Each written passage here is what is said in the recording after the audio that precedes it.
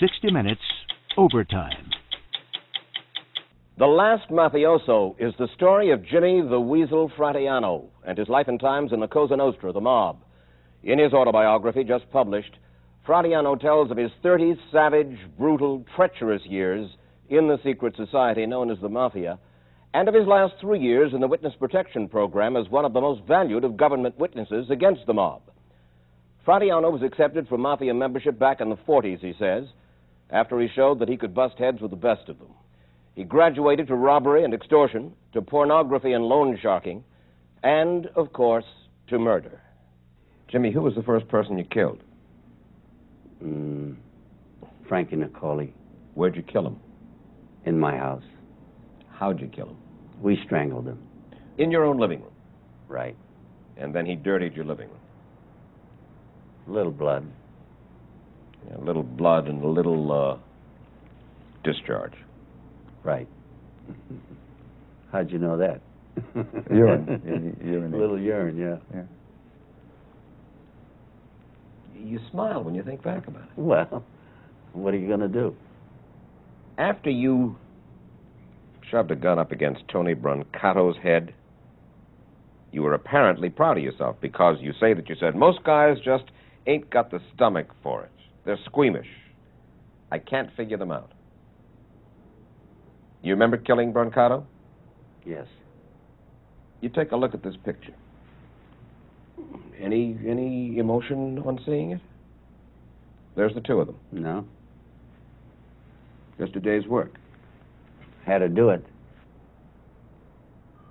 I took a guy out of Vegas one time and killed him. Just took him out of the Desert Inn. You know, there's different different ways, different methods. You were a good killer. I just had the talent to to do things like that. I never made any mistakes. Matter of some pride. No, I just uh, some people are a little better than others. But I think it would bother me if I killed an innocent person. What do you mean by an innocent person? Well, you're an innocent person. I'm glad to hear you. you don't have designs. Well, I mean somebody innocent, you know, that uh, is not involved in criminal activities or One gets the impression that mobsters are really animals. well, they're not animals. Well, Some are probably. Jimmy, they're brutal. They're vulgar. yes, they are. They're uncaring. They're animals. Well, I'd say they're brutal.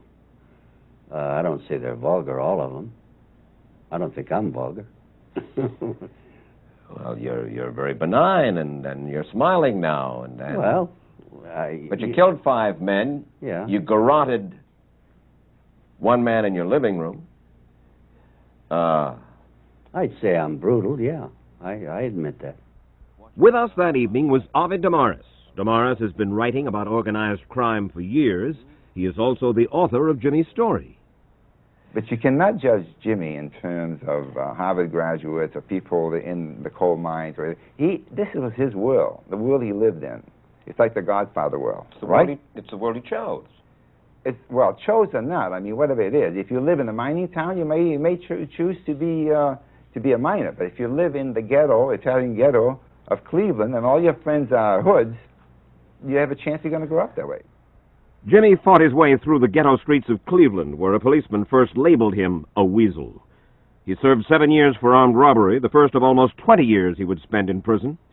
Shortly after his first release, he moved to California, and in a ceremony marked by gun and sword, he became a made member of the Mafia.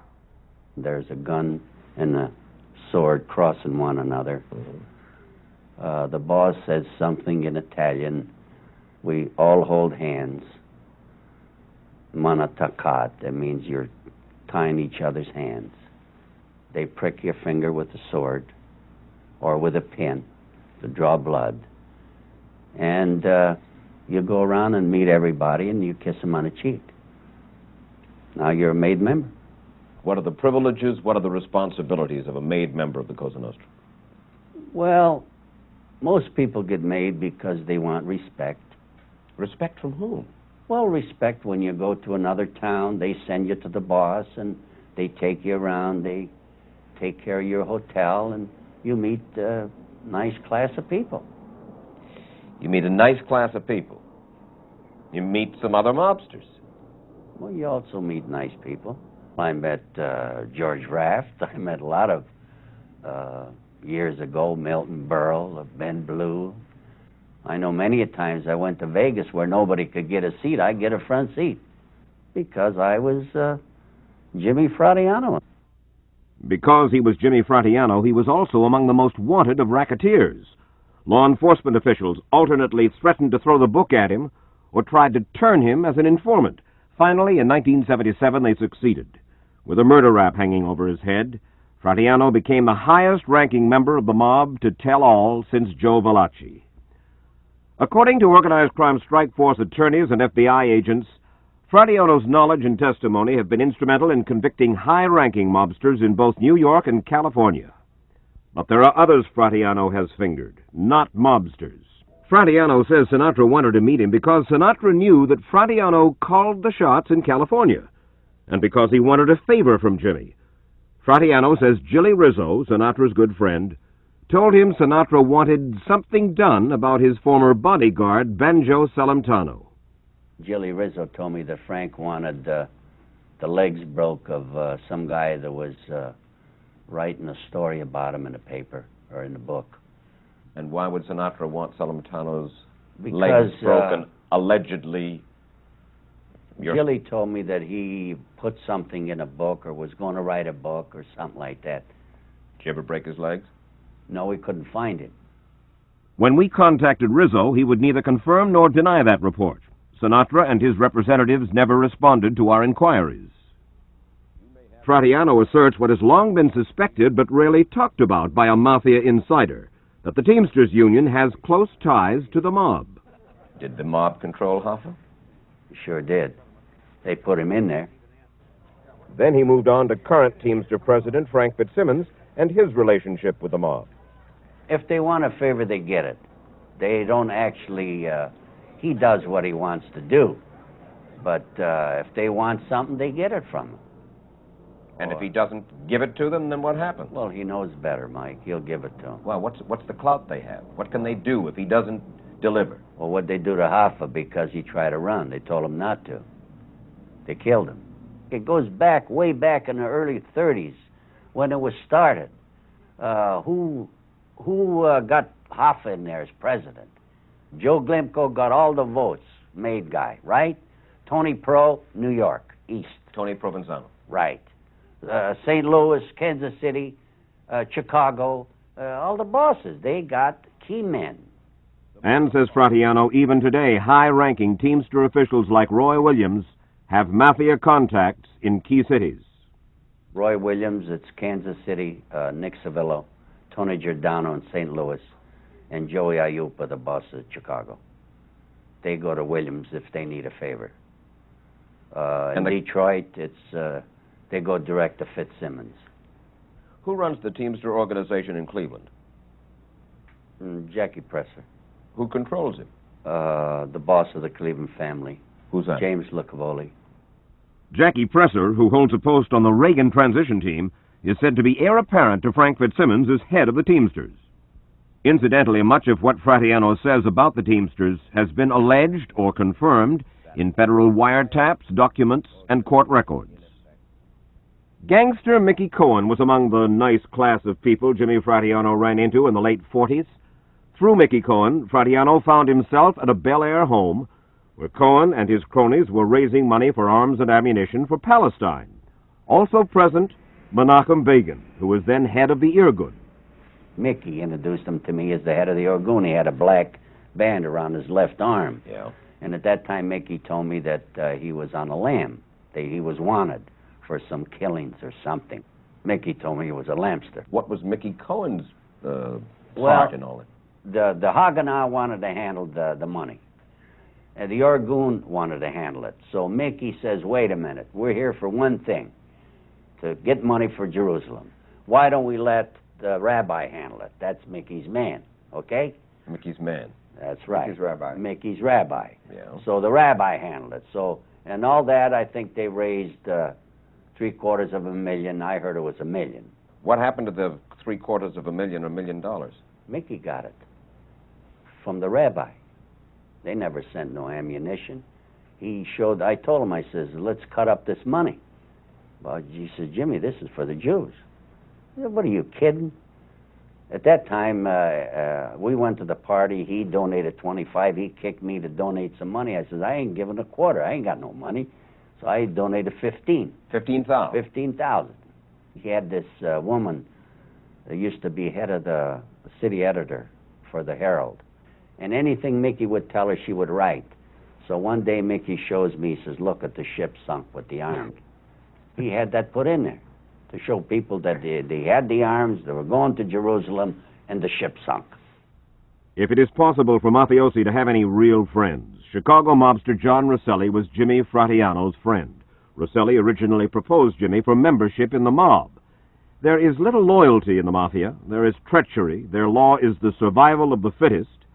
Fratianno's best friend, John Rosselli, was murdered by the mob. Let me show you a picture of John Rosselli.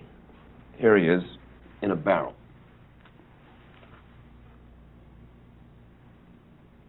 Any emotion about that, uh, Jimmy? Well, what could I tell you?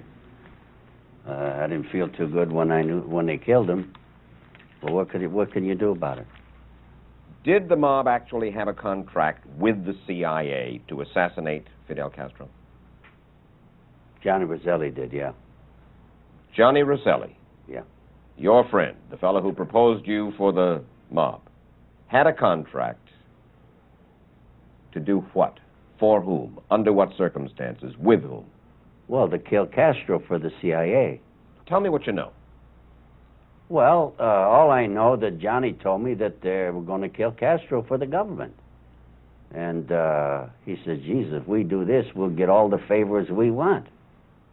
Because of the explosive nature of his information, Jimmy Fratianno may be the most wanted man in America, according to U.S. government marshals charged with keeping Fratianno alive these last three years in their witness protection program. So they are taking no chances even with 60 Minutes. They arranged for us to meet at Washington's National Airport and took us for a ride through the Virginia countryside before arriving at a government safe house on the Potomac River. They asked that we disguise Fratianno, reducing the chances he'll be recognized when he leaves protective custody. Most of all, they and Jimmy fear mob retaliation. They put a contract out on your life. That's right. You got scared, and the FBI said, Jimmy, you better get yourself into this program. Well, no, I made my own mind up, Mike. I, they didn't uh, force me to get into it. I had no choice. At the uh, recent trial of Funzi Tieri in New York, mobster Tieri, you told the court this. You said you have two choices. You tell the truth and die, or you lie and stay alive. That's right. Now, this is as far as the mob is concerned, but how, how, how do we know that you're telling the truth now? Well, you've got to take my word for it. but you're the fellow who just said you tell the truth and die, you lie and stay alive. I don't lie now. Uh, since I turned uh, with the government, everything I told them is the truth. When did you suddenly get religion and we know that you tell the truth? Well, what benefit would I get in lying? Mm, You'd come on television and you'd tell some lies, which are uh, entertaining, mm, and I, that that that uh, hypes the sale of your book. I wouldn't do that, Mike. There's a word that's important here immunity. It's very important in this case. Where he can say anything he wants to. He can say he murdered 50 people if he wants to, Yeah. and he's got immunity. Providing I tell the truth, But if you're caught in a lie, That's it. they can try me on everything. Before I had to lie to stay alive. Now I have to tell the truth. I take it that most of you and your brothers in the uh, Cosa Nostra were born and remain Roman Catholics, right? I'd say most of them, yes. How do you, how do they square a life of crime, dedicated to crime, with that religious affiliation? Well, they're hypocrites like I am. Don't go to church. Don't confess your sins. Although we're still Roman Catholics. I get the impression that, that you haven't gotten a lot out of your life. Am I wrong? You're right. Got any money? No? Got any reputation? Bad? Got the admiration of anybody? No? Where do you go from here, Jimmy? I don't know. I really don't know.